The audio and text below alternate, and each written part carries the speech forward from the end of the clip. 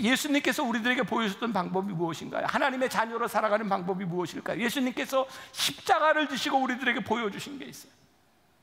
예수님이 겟세만의 동산에서 십자가를 앞에 놓고 기도하실 때 아버지 될 수만 있다면 이 잔을 나에게서 옮기시옵소서 그러나 나의 원대로 마옵시고 아버지의 뜻대로 하시옵소서 끝까지 자신의 욕망이 아니라 아, 하나님 아버지의 뜻을 따라 하나님 아버지의 영광을 보여주셨던 예수님의 방식 그것이 고난이었다는 거예요.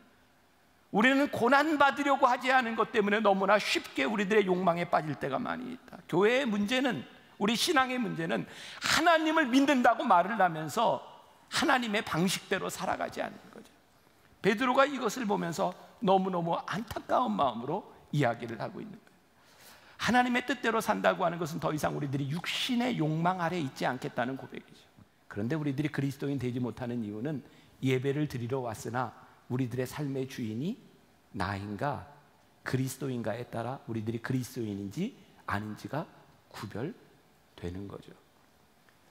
내가 내 삶의 주인이 되어 있으면 우리는 우리의 정욕을 따라 살아갑니다. 아버지 하나님 그리스도께서 우리들의 삶의 주인이 되어 있으면 우리는 하나님의 뜻을 따라 살아갑니다.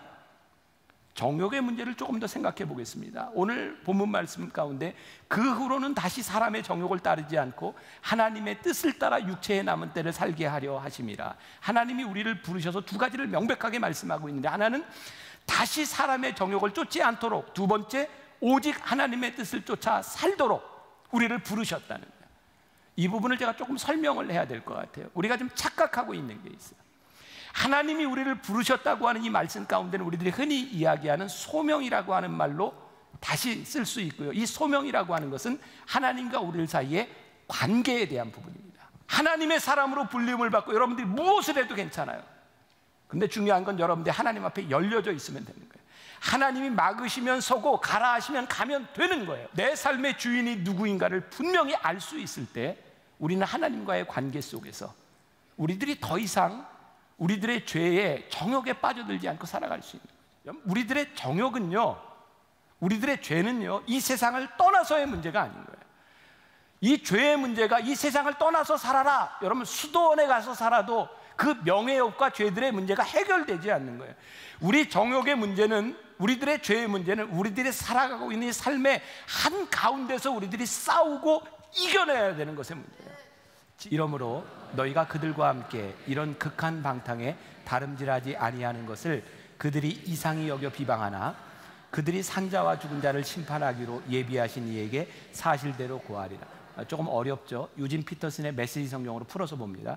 물론 여러분들의 옛 친구들은 여러분들이 그들과 함께 어울리지 않는 이유를 이해하지 못할 것입니다.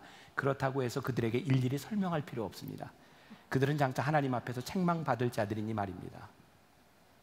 우리가 주님 뜻대로 살기로 했네라고 하는 뜻대로 사는 세상은 여전히 우리들의 친구들과 동료들과 함께 살아가야 되는 세상입니다. 그런데요, 우리들이 이 세상과 함께 살아가지만 그들과 어울리지 않습니다. 그랬더니 세상 사람들이 우리를 비방합니다. 너희들은 왜 그렇게 사냐고. 그런데 오늘 말씀에 보면 그거 일일이 설명할 필요 없다. 왜? 우리가 이 세상 가운데서 하나님의 뜻대로 살아가는 삶은 그런 것이다. 라고 말하고 있죠. 자, 우리들이 하나님의 뜻대로 살아가며 이 세상 가운데서 믿음을 지키는데 누가 뭐라고 우리들에게 비방을 해도 너희들 꿋꿋이 그 길을 가라. 그게 하나님이 우리를 부르신 길이다.